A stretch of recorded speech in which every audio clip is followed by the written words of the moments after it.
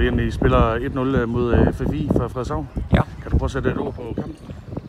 Det er vel til dags den ringeste præstation, vi har lavet.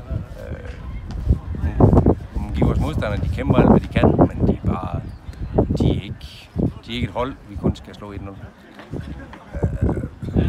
jeg er ekstremt skuffet over spillere, det er første gang, jeg har svint nogle spillere til, øh, selvom man får en fejl. Jeg er meget skuffet, og det er spilleren også selv. På et tidspunkt så siger du til dem, at de, nu skal de fjerne, øh, nu skal de fjerne sig fra stolen, fordi du var lidt sur. Ja, jeg var rimelig sur. Det er, altså, når, at, når, vi, når vi aftaler nogle ting, at de ikke bliver holdt, så noget, det gør mig sur. Øh, hvis, de, hvis de forsøger at gøre det, som vi har aftalt, så, øh, så kan jeg leve med, at man laver en fejl, det er okay.